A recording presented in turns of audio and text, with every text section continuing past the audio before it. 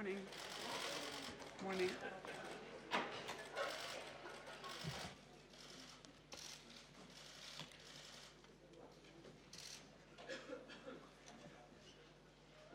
Good afternoon, uh, and welcome again to the Commission's press room today, 18th of July uh, 2018. It's our pleasure to have with us uh, Commissioner Margrethe Vestager, who will uh, present, make a statement on an antitrust decision. Uh, Commissioner will make the statement, then we'll move on to our traditional Q&A session. Without further ado, Commissioner. Well, thank you. Uh, today, the Commission has decided to fine Google 4.34 billion euros for breaching EU antitrust rules. Google has engaged in illegal practices to cement its dominant market position in Internet search. It must put an effective end to this conduct within 90 days or face penalty payments. Google's search engine is its flagship product. You fine? Okay. Every year, Google generates more than 95 billion US dollars from adverts, such as those shown and clicked on by users of Google Search. And much of this revenue is thanks to the rise of smart mobile devices, namely smartphones and tablets. Today, mobile internet makes uh, more than half of global internet traffic. It has changed the lives for millions of Europeans. No matter if we're waiting for the metro or the bus, if we're in a meeting room, if we're dining with friends, more and more uh, our hands reach for our smartphones and tablets to find the information that we're looking for. Our case is about three types of restrictions that Google has imposed on mobile uh, device manufacturers and network operators to ensure that traffic goes to Google search.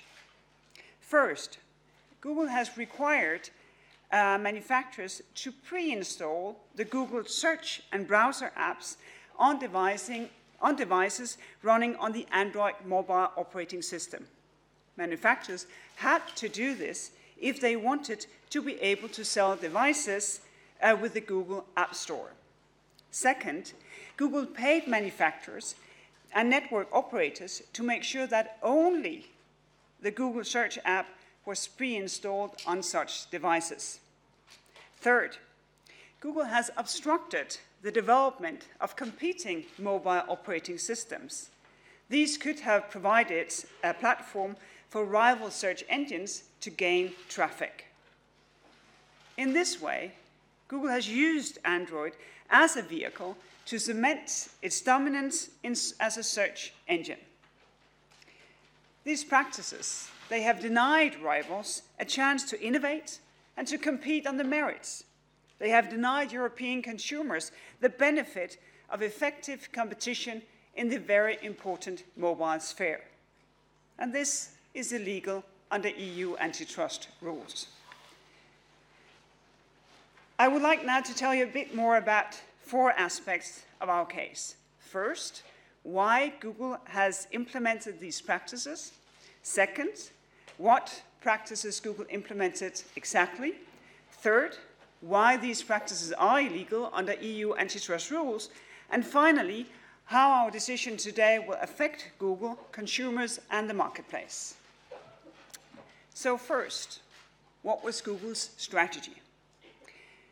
Google understood early on the shift from desktop to mobile uh, search. It started in the mid 2000s, and it would be a fundamental change for search engine businesses. And of course, it realized that this was both an opportunity and a risk. So Google developed a strategy to anticipate the changes of the shift. This strategy was built on the mobile operating system Android. As Google said in one of its internal documents at the time, and I quote, Android is by far the greatest opportunity for search monetization in mobile over the next years and is very strategic to Google, end quote.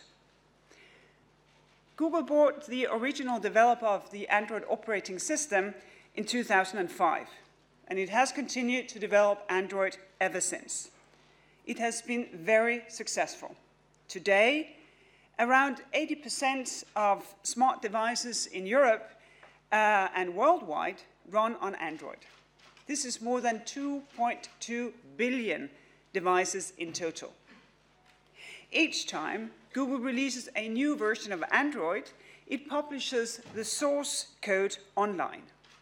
This, in principle, allows anyone to access and modify the code to create other versions of Android, so called Android forks. At the same time, this openly accessible Android source code only covers basic functions on mobile devices. It does not include popular Google apps like the Google Play Store, which enables users to download uh, more than 3.3 million different apps. If manufacturers want to sell Android devices that have popular Google apps, they need to agree to Google's terms and to sign on the dotted line. And this includes uh, requirements not to modify the Android source code without Google's consent. Through this requirement, in practice, Android is locked down in a Google controlled ecosystem. So, what are the illegal practices that Google put in place? Our case is about three specific types of restrictions. Three specific restrictions that Google has imposed on manufacturers and mobile network operators. The first practice ensures that Android device manufacturers pre install the Google Search app and the Google Chrome browser on the devices that they sell. Search and browser app are the most important gateways to reach search engines on mobile devices. Manufacturers had to pre install the Google Search and the Chrome app if they wanted to sell devices that offers users a key feature, namely the possibility to download other apps via the Google Play Store. As part of our investigation, device manufacturers confirmed that, Google, that users consider Google's Play Store a must have app on Android devices. So the right to pre install the Play Store on their device is a very strong incentive for them to agree to Google's demands, especially because it's not possible for users to download the Play Store themselves. Second, Google also wanted Google Search to be the only pre installed search engine on Android devices. So Google gave some of the largest device manufacturers a share of the pie of Google search revenue into uh, but only on a condition of exclusive status.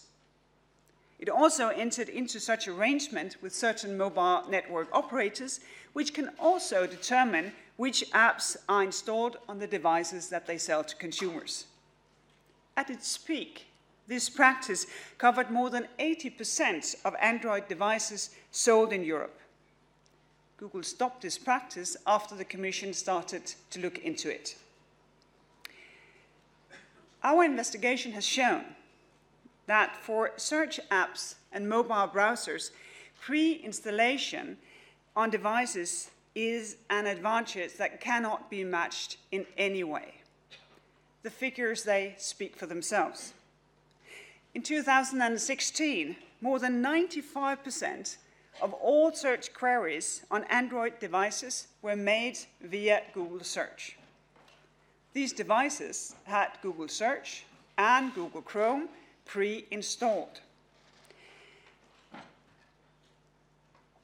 On Windows mobile systems or their devices, on the other hand, well, Google search engine was not pre installed. As a result, less than 25% of all search queries was made via Google search. And more than 75% of the queries, well, they happened on Bing, which is the pre-installed search engine on Windows mobile devices. There is a saying that you, uh, that you don't look a gift horse in the mouth. Well, evidence shows that when it comes to search apps and mobile browsers, the vast majority of users simply take what comes with their device and do not download competing apps. In fact, these apps are not even for free, since users pay with their data. Or, to slightly paraphrase what also economist Milton Friedman uh, has said, there ain't no such thing as a free search. The third practice Google has put in place, as already mentioned, prevents device manufacturers from using any alternative version of Android that was not approved by Google. If manufacturers produced even a single device based on an Android fork, they, use the right, they lose the right to sell any device with Google Play Store or the Google Search app. And this is how Google restricts the opportunity and incentive for others to develop Android forks in a way that is not open to all. At the same time, this reduces the opportunity for rival search engines and other to launch apps and services on devices running on Android forks. And this was not just a remote possibility from theory books. In 2012 and 2013, Amazon tried to license to device manufacturers its Android fork called Fire OS. It wanted to cooperate with manufacturers to increase its chances of commercial success. And manufacturers were interested. But due to Google's restrictions, manufacturers could not launch Fire OS on even a single device. They would have lost the right to sell any Android phone with key Google apps. Nowadays, very few devices run with Fire OS, namely only those manufactured by Amazon themselves. And this is not a proportionate outcome. Google is entitled to set technical requirements to ensure that functionality and apps within its own Android ecosystem runs smoothly. But these technical requirements cannot serve as a smokescreen to prevent the development of competing Android ecosystems. Google cannot have its cake and eat it. So, why are these practices illegal under EU rules? In Europe, well, of course, we congratulate all companies for success, the success that they achieve through innovation, developing products that consumers value. And that is why, as such, dominance is not a problem under EU antitrust rules. But with market dominance comes a responsibility. And that's because when one company dominates the marketplace, obviously competition is weakened. So, EU antitrust rules put a special responsibility on dominant companies. They must not deny other companies the chance to compete against them on the merits. Of course, because that would be to the detriment of further innovation and therefore harm European consumers. Through its control over Android, Google is dominant in the market for mobile operating systems, which are av available to license to other manufacturers. And Google has been dominant in this market since 2011. Our most recent figures show that it holds a market share of more than 95%. The second biggest player in this market, Windows Mobile, was very small in comparison. It had a market share of less than 5% before exiting the market last year. Other mobile operating systems, like those of Apple and BlackBerry, they are not available for license. they do not directly compete with Android at the level of device manufacturers. Of course, Android phones, they compete with Apple and BlackBerry phones for end consumers, but our investigation showed that that does not sufficiently constrain Google's power vis-à-vis device manufacturers and network operators. Our decision also concludes that Google is dominant in two other markets, namely the App Store for the Android mobile operating system and in general internet search. As regards app stores, Google Play Store accounts for more than 90% of app downloads on Android devices. As regards general internet search, the Google search engine holds very high market shares of over 90% in most European countries. And that we already showed in the Google shopping decision last year. This means that Google must comply with EU antitrust rules for dominant companies. And the decision today concludes that the restrictions Google imposed on manufacturers and network operators using Android have breached these rules since 2011. First, that's because Google's practices have denied rival search engines the possibility to compete on the merits. They made sure that Google search engine is pre-installed on practically all Android devices, which is an advantage that cannot be matched. And by making payments to major manufacturers and network operators on condition that no other search app or search engine was pre-installed. Well, then rivals were excluded from this opportunity. In this way, Google also denied rivals access to valuable data from increased user traffic, which in turn could have allowed rivals to improve their products.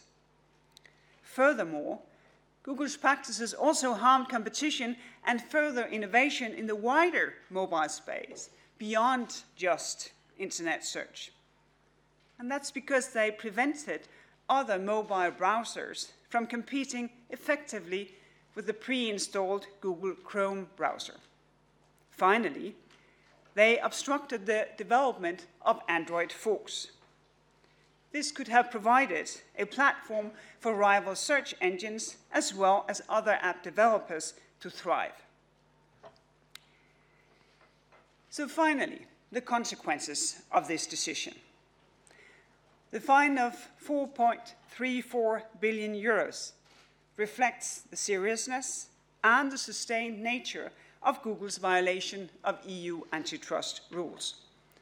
The decision requires Google to bring its illegal conduct to an end within 90 days in an effective manner. At a minimum, our decision requires Google to stop and not to re engage in the three types of restrictions that I have described. In other words, our decision stops Google from controlling which search and browser apps manufacturers can pre install on Android, Android devices or which Android operating system they can adopt. But it is Google's sole responsibility to make sure that it changes its conduct in a way that brings the infringement to an effective end. We will monitor this very closely.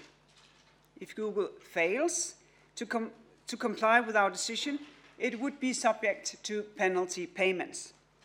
The penalty would be up to 5% of the average daily turnover of Alphabet, Google's parent, for each day of non-compliance. We would have to establish this in a separate Commission decision, which the penalty would be backdated uh, when the non-compliance started. So, our decision requires Google to change the way it operates and face the consequences of its action. About a year ago, I was here in the press room to tell you about a separate, another separate decision concerning Google. The Commission fined Google 2.42 billion euros for abusing its dominance as a search engine by giving an illegal advantage to its own shopping comparison service. We have not yet taken a position on whether Google has complied with the decision. And since we haven't done so, this remains very much an open question.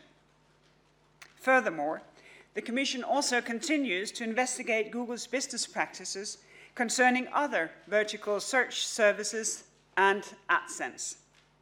I cannot preclude, prejudge the outcome of these uh, ongoing investigations, which continue to be a top priority for us. So, to conclude, what our ongoing work and today's decision have in common is the principle that in Europe, companies must compete on the merits.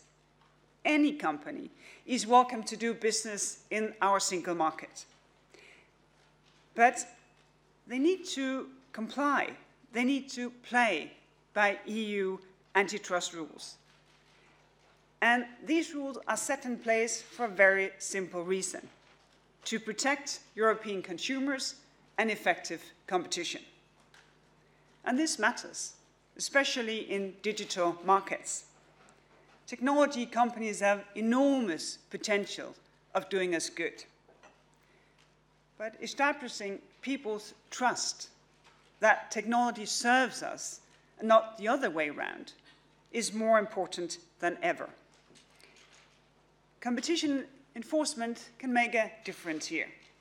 It can give people the confidence that technology companies play fair and do not close off markets uh, to competition. Otherwise, they will be sanctioned, as Google was today.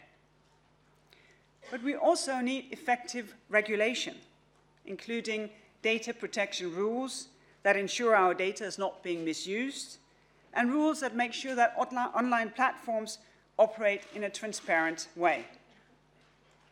And that is why I work hand in hand with my colleagues, Andrus Ansip, Maria Gabriel, and Vera Jourova, to build the trust we need to make sure that digital markets truly serve European consumers. Thank you. Many thanks, Commissioner Vestager. We'll now proceed to your questions. Uh, I would just like to remind you that we have experts uh, in the room, and unlike me, they can give you a hand in addressing any uh, difficult uh, technical questions afterwards. So if you could start with your questions relating to the topic at hand, and I would also like to remind you to state the, your name and the media you work for. And I will start with Jorge, who was the first to ask, and then move to Christian. Uh, thank you, Ricardo. Jorge Valero, Euractiv. Uh, two quick questions. The first one, uh, even if uh, the Trump administration is not as close to uh, Obama administration to Silicon Valley, are you afraid that this decision could affect the meeting next week between President Juncker and President Trump? And a second question, you have imposed two record fines on, on a company which motto was don't, don't be evil. evil. so my question is whether you think that uh, Google should apologize to uh, uh, companies, SMEs, and consumers.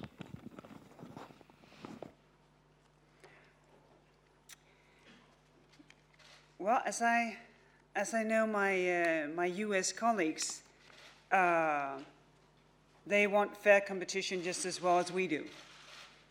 Uh, and this was also, has been the discussion around the first Google case, that there is a respect that we do our job. Because we're here, we have this very simple mission to make sure that companies play by the rule book to serve consumers, for the market to serve consumers. And this is also my impression that this is what they, they want in the US. Uh, on the second question, well, what we want is for, for Google to change its behavior.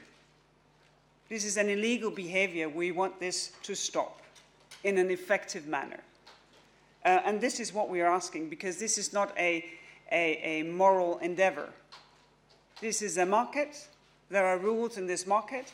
And just as well as anyone else, Google should play by these rules. Christian? Oui, bonjour Madame Vestager en français, s'il vous plaît, Christian Spielmann de l'AFP. Ma question, je, je, crois que c'est l'amende la, la, la, plus importante jamais infligée à, une, société pour justement position dominante et abus. Ma question est simple. Où va aller l'argent? Est-ce que cet argent va aller dans le budget de l'Union européenne et favoriser la recherche et le développement, permettre l'émergence de nouveaux moteurs de recherche? Ou sinon va-t-il aller dans les États membres au prorata de leur, euh, de leur participation au PIB Ma deuxième question, vous avez dit qu'il y a un an, vous avez sanctionné pour 2, 2 milliards 42. Est-ce qu'ils ont payé ces 2 milliards 42 Est-ce qu'on a une chance de voir les 4 milliards de- d'amendes aujourd'hui infligées payées avant la fin de votre mandat et avant la sortie du Royaume-Uni de l'Union européenne? Merci. Uh, on, on the question of, of the first fine, uh, the first fine, Google has put up uh, bank guarantees, so effectively the fine has been paid. It is so with every fine that they have to be paid. Uh, we cannot sort of, of course, uh, use the money before an appeal is over. And this means that uh, a, a fine goes into a closed account and it stays there till the final uh, judgment of the court. And then it's returned to member states. And we return it using the same key as a contribution to the European budget. Uh, and I think this is very important because you can impose a fine if someone has done something wrong. You cannot impose a fine because you need the money. That would be wrong in itself. And this is why we have this mechanism. And this, of course, means that it will take quite some time if they appeal and if we win in court, and I can assure you we have done our best to make that possible, then eventually the money will come back to member states to serve European citizens. Lewis, and then we'll work to the right. Yeah. Uh, Commissioner, good afternoon. Lewis Crofts, MLEX. Uh, Google uses these restrictions allegedly to um, make money. If they can't make, put these restrictions in place anymore, there is the prospect of them charging for licenses for Android. Are you worried about this? Do you think this could be a problem that the price of a handset could go up because of your decision? And secondly, um, I listened to what you're saying about downloading apps. And your own merger decisions have said that people go online, people go to their Play Store, and they download apps. It's really easy. I'm sure you've done it. Everyone in this room's done it. Have you changed your mind insofar as you're saying now that people don't actually do it or they can't do it? Well, first, on, on the question of, uh, of how to monetize an investment. Uh, obviously, this is not a judgment over any business model, because there are different business models out there, and this is not a judgment over that. Uh, as far as we can see, there is still uh, possibilities to, to monetize uh, the Android operating system. If you look at, for instance, the Play Store, uh, where Android uh, based apps are, are being found and sold, uh, the revenue made from that is quite substantial. Uh, so I think there is still a possibility for Google to recoup uh, the investment made in developing the Android uh, operating system. Second, when it comes to downloading apps, there are a number of differences between apps. If you look at these very crucial ones, uh, like, uh, for instance, said the Play Store, you cannot download that yourself. That's the first thing. Second, when it comes to sort of these very essential apps that we all use, like search, like the browser, uh, it is very, very rare that it happens that users do download a competing app. Uh, we know for search, I think it is uh, over a couple of years uh, on, on Android devices, only 1% of users, 1% of users downloaded a competing search app, and only 10% of users downloaded a competing browser. I think this is very different for games and whatever, uh, but for the essential apps, once you have it, you have this out-of-the-box experience, it's working. Well, very few seems to be curious enough to go look uh, for another uh, search app or browser. Natalia? Uh, Natalia Drozdiak, Bloomberg News. Um, you mentioned that Google collects a lot of data that's valuable uh, to Google search. Did the Commission examine a possible strategy to block rivals with data con- collection? And do you see this as harmful? Well, I, I wouldn't put it that way, but since rivals uh, couldn't find a place on an Android uh, phone, uh, as, as well, if, if the search app is already installed, and I said very, very few people, 1%, would find another search app, well, you weren't in this space. And, and mobile search traffic has, you know, gained an enormous importance over the last 10 years, from almost nothing to be half of, of internet search traffic. So, so you, you never really got there if you were a competing uh, search engine. And, and that makes it very difficult to develop the quality of your search engine because data is one of the prime resources to be able to do that. To the right, and then we'll come back. Khushita? Um, hello, Commissioner. Khushita Vasant from PaRR. Um, you mentioned that uh, the Commission will be monitoring uh, Google's actions um, after this decision. Um, how how are you going, going to go about measuring um, whether this has an impact or any remedy that they institute is going to have an impact? Uh, and um, the second question is I understand your point that Google needs to stop its behavior but this is quite entrenched and the market is quite predicated.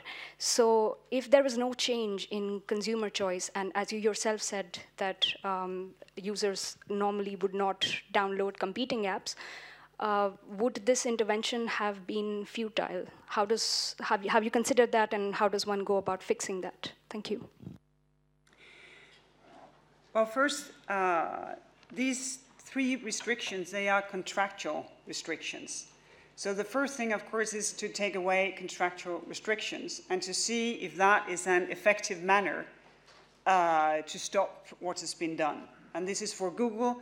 It's their sole responsibility to figure that out. Second, um, the thing is that now uh, mobile uh, operators and, uh, and uh, device manufacturers, they are free to choose uh, if someone develops a new fantastic Android fork, they can put it on a device and sell it with this new version. Uh, just as well as they can choose to put on another search app or another browser. So you have more choice as an end consumer as to what kind of operating system and what kind of sort of out of the box experience would you like to have. So here, obviously, freeing up the choice when it comes to upstream manufacturers, um, mobile uh, operators, then enables more choice for end consumers. Anne?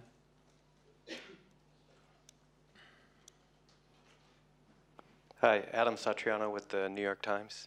Uh, given Anne, sorry, Anne first. We'll come to you afterwards. Capital Forum. Um, Commissioner, to come back to uh, the real impact on consumers in the market here, um, there are probably about 450 million people walking around in the EU at the moment with an existing Android phone, perhaps as many as 500 million. And you've said today that Google has to stop doing what it's been doing that's illegal. But how do you fix things for those people who already have an Android phone? Um, it's all very well to say that new Android phones, which are going to be coming on the market, um, won't be subject to these illegal contract provisions. But I'm thinking in particular of what happened for one of the complainants in this case, Yandex, which is a competing Russian search engine, and the Russian Competition Authority came out a couple of years ago and fined Google for similar restrictive Android practices, and last year reached a settlement with Google. One of the things that it asked Google to do was to send a push notification to all existing um, users.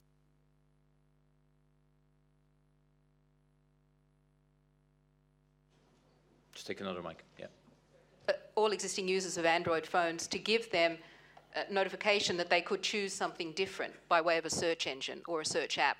Is that something you've considered, or you've said Google has to decide what to do? Is that something you will expect them to do? Well, this is, uh, this is a very sort of uh, classical uh, cease and desist decision. So we say it has to put a stop to its, uh, its, uh, its behavior, uh, and it has to bring the infringement to an effective end. Uh, and yes, then it is for Google to figure out how to lift this responsibility. It's for them uh, to do this. And obviously, since this is a case where there is a fine imposed, it is a fine to reflect that this is a past behavior and it has to change for the future. Google may uh, make that kind of choices, as you referred to. On that, we have taken no position. Next one, yes. Uh, Irini Kostaki from New Europe. The fine is very large, and somebody could say that it, this gives it a political dimension. Do you fear that there might be backlash on the, the European companies operating in the US by the administration? Well, I, I also find that it's a large sum of money. But uh, if you look at sort of the percentage of, uh, of turnover as, as we do, when we look at the level of fine, it is in line with what we usually find. So we are not, in that respect, uh, out of the ordinary. We're in the same sort of level uh, as we usually are. Maybe it's, it's slightly sort of on the high side, but it's definitely not sort of spectacular in that effect. Adam?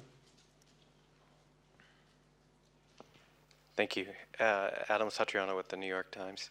Um, given the pattern of behavior that you've outlined in, in this case and in others over the past few years, uh, do you think that Google should be broken up? Uh, would that improve uh, competition? And, and secondly, uh, does the time it takes to conclude these cases limit their impact? And that by the time a decision has been reached, essentially the market has moved on?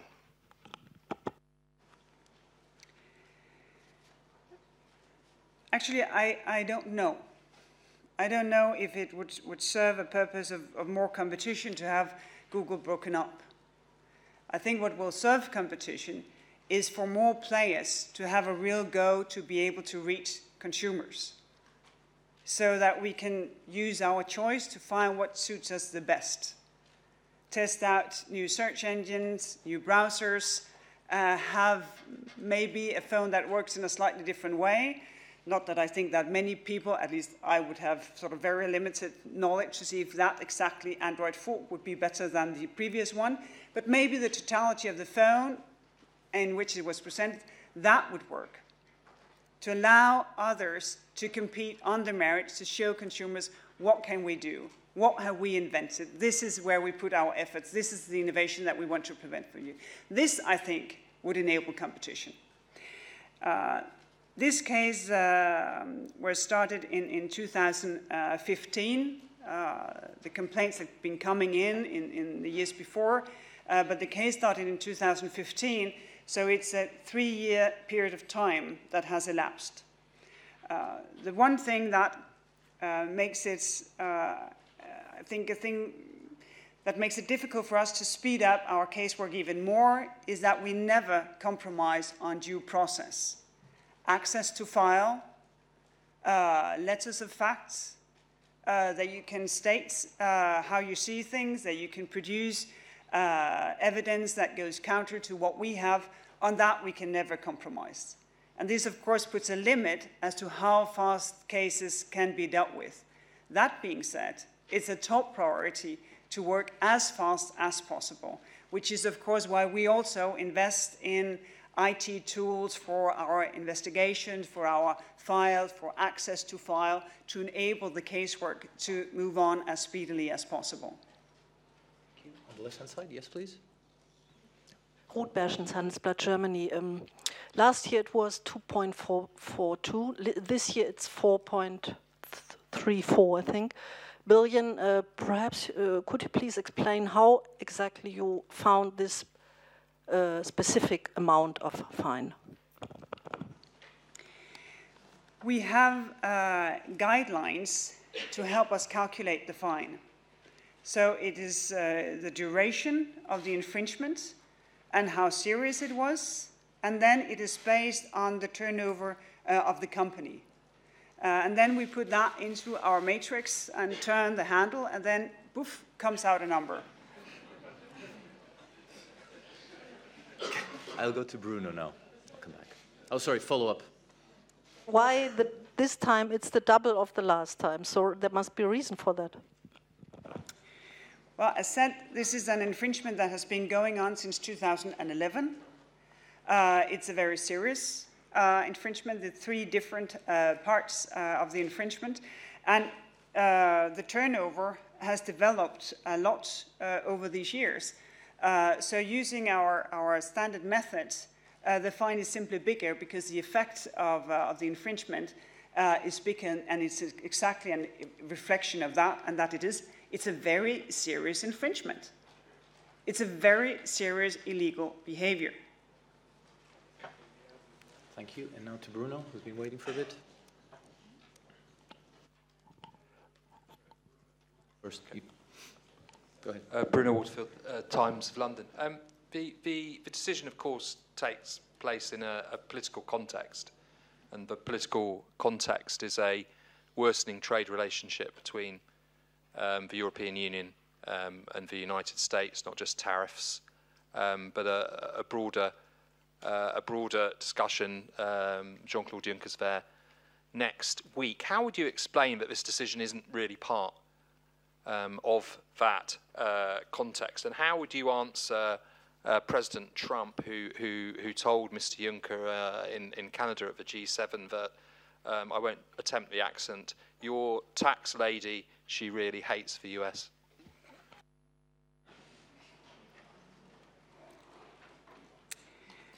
Well, I've done my own fact checking on the first part of that sentence. I do work with tax and I am a woman, so this is 100% correct. Uh, this is not correct for the latter part of the sentence, though, uh, because uh, I very much like the US. And I think that would also be what you think because I'm from Denmark. And that tends to be what we do. We like the US. The culture, the people, our friends, traveling. But the fact is that this has nothing to do with how I feel. Nothing whatsoever. Just as well as enforcing competition law, well, we do it in the world, but we don't do it in the political context because then there would never, ever be a right timing. The mission is very simple. We have to protect consumers and competition to make sure that co consumers get the best of fair competition. Choice, innovation, best possible prices. This is what we do. It has been done before, we will continue to do it, no matter the political context. Thank you. Yun Uh, hi, Commissioner Yun Chee from Reuters. Uh, during your investigation, have you have any feedback from the Android makers such as smartphone, uh, such as Samsung, Huawei, and the and, and Sony? And what's your for, uh, what's your uh, backup plan if, let's say, after a year or two, uh, Android hasn't lost any market share at all because people prefer uh, prefer this, you know, Google's products? Thank you. Well, as, as said, we have been, uh, been in contact with uh, mobile device manufacturers. Uh, this is why we know that the Google Play Store is a much must, must carry uh, app. Uh, and it seems obvious, but of course we have also confirmed that. So yes, we have had a lot of uh, back and forth to make sure that we get the evidence right. And now it is for Google, it is Google's sole responsibility to live up to the decision to bring this uh, infringement to an end in an effective manner.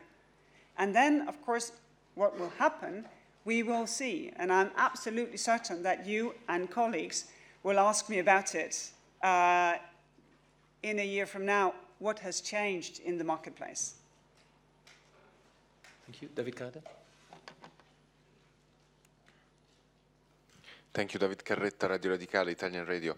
If I can come back to the breakup issue of Google, would you exclude to uh, take such a decision since at the end of the day, uh, we are always talking about Google search and the business model of, of, of Google, the fact that uh, uh, search is not for free, but uh, it has a cost and so on. Thank you.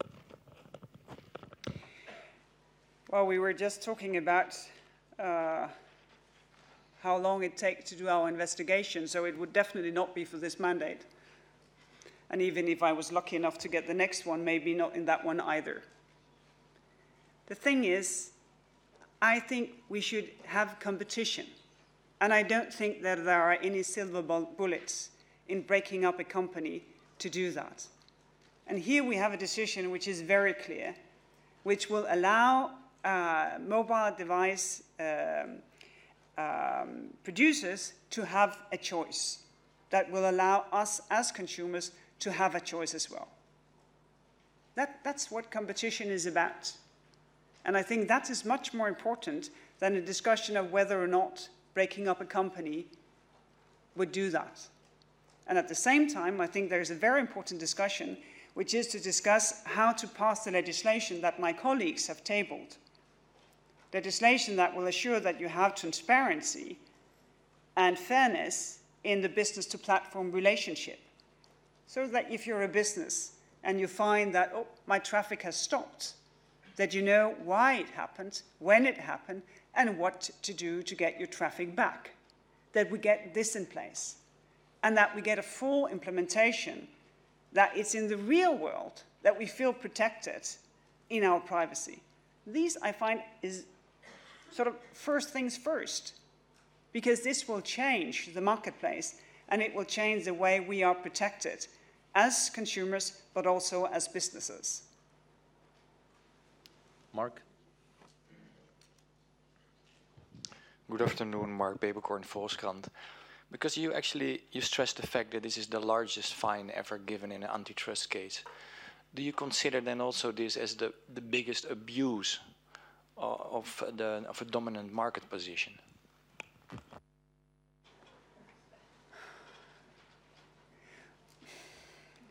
Well, I also love all my children the same way. I, I don't think it's fair to ask me to choose. Uh, because the fine reflects the length and the seriousness and the size of the business. Uh, but sometimes you have antitrust uh, uh offenses, illegal behavior that very specifically harm some people very, very much. So it's, I, think, I don't think it's, it's fair to, to ask me to, to choose. Matthew? Good afternoon, Commissioner Matthew Newman from MLEX. Um, I certainly understand that the point of the decision is to help consumers, to promote innovation, and, and all that. Um, but I'm just wondering about kind of the practical uh, consequences of this. Do you expect that there really might be more competition for an operating system? Do you envision a new operating system coming out, a new kind of fork that no one has ever heard of, uh, that's, that's fabulous, that everyone will want. Because it seems that right now we have Google, Android, and Apple. And in your decision, it doesn't look like those are two uh, systems in the same market. One is licensable, and the other one is open source. So you put them in two different boxes. So what do you envision? What is your kind of the end game uh, for the operating systems? Well, first of all, I, I don't envision an, an, end game. I, that may be a lack of imagination, but I, I still think that devices, one way or another, would need an operating system. How they will develop into the future, that remains to be seen. But as said, it's not just pure theory. Amazon developed a fork. They would very much like manufacturers to use that fork uh, in order to have uh, competition in this field. It was not possible because of the Google illegal restrictions. So it's not just theory that this happens. And from what I have heard uh, from people, organizations, other active in the marketplace, the fact that sort of the, the basics of the Android operating system is open source is one of the things that are very much appreciated because it, it enhances the quality because more eyes are looking into it, more people are using their resources and skills and innovative ideas uh, on that. So I will not uh, at all preclude that this can happen. I don't know if it will happen, but what I see is a marketplace where people think it's open source, this is great because then we can get our fingers in the dough. Very patient, Natalia, go ahead. Uh, Natalia Drozdiak, Bloomberg News again. Um, you mentioned earlier that Google might be able to monetize Android through Google Play. Um, so I'm wondering, is this the only solution to end the anti-competitive behavior for Google, either to give it all its services away for free or to charge for its mobile services somehow? And are you not concerned if it's the latter that it could raise prices uh, on smartphones for consumers? Well, I, I have made no suggestions as to how Google should solve this. It's just to say that this decision doesn't say that this has to happen. Uh, I think a number of different choices can be made by Google, and it is for Google to make these choices. Uh, what we see in, in, in, in general is that competition makes prices come down, gives you better choices. So you can have a theory that prices will come up, it is as likely that prices will come down because of more competition. The thing is now, it's open. There can be competition as to how this should work. And that's the very point of the decision. And now that we started the second round, back on the left-hand side, yeah. Handelsblatt Germany again. Um, it seems that only uh, the European competition authorities, the European Commission is finding uh, Google now for the second time, but the American and the Canadian competition authorities don't behave like that. Uh, what is your explanation for this difference? Is, is it only due to uh, a more severe or more strict European competition law, or what is the reason for that?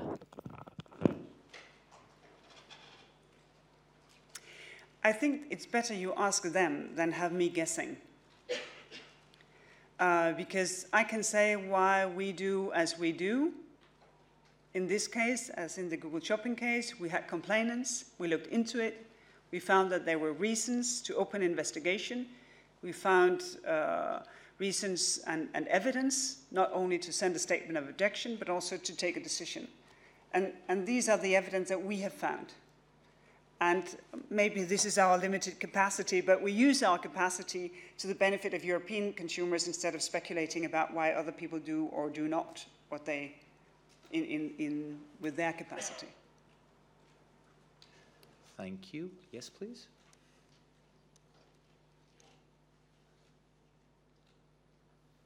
Yes, Martin with uh, Jyllandsposten. Um, I think I got you said that you don't care much about the political context uh, in which this is, uh, decision has been taken, but maybe you could answer if you are not in any way uh, afraid about the political backlash to the decision, no matter how, uh, no matter the context you you have taken it in.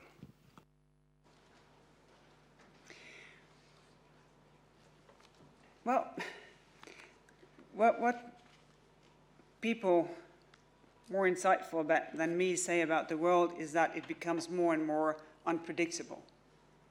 If that is the case, then I find it's a good thing to do predictable things, sort of to put something in the other end of, of the scale. And the predictable thing is that if you breach European antitrust rules, if you do something illegal and we find out and we can prove it, there will be a penalty. You have to stop this behavior. And there are no surprises here. It has been done before and it will be done again. And, and that's, I think, is a good thing to have something predictable in a world that seems different than they were some time ago.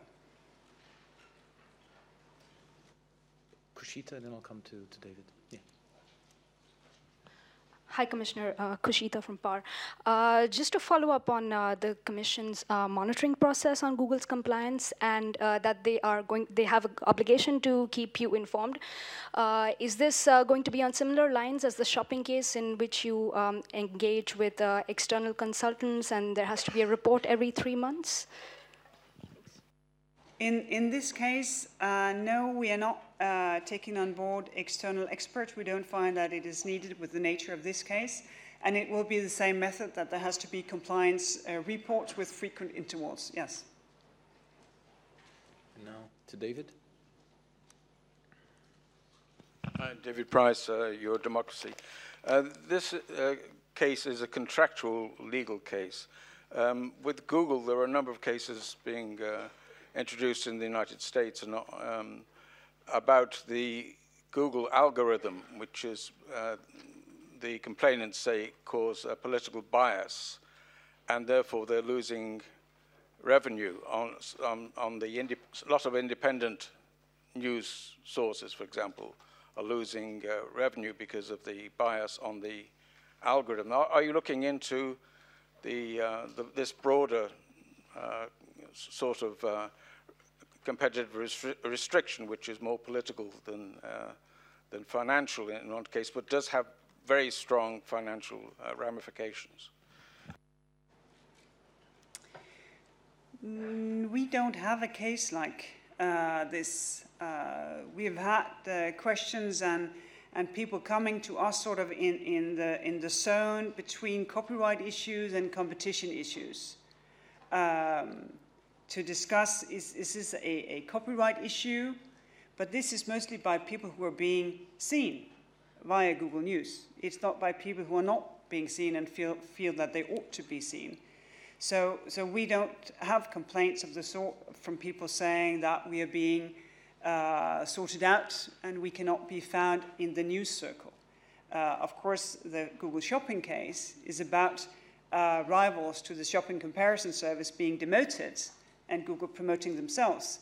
But this is still, I think, very, uh, very sort of commercial uh, issue uh, much more than it is an issue of, uh, of free speech or, or the free press and, and our democracy as such. Thank you. Do I see any further questions for the Commissioner on this or any other topic? Okay. Uh, if not, I can. It all that remains for me is to thank the commissioner for the press conference. Thank you, commissioner, and to remind you that uh, if you stay on your seat, we'll just set up here and have the technical experts at hand to deal with any further points that you may want to discuss about today's decision. So thank you and have a good afternoon.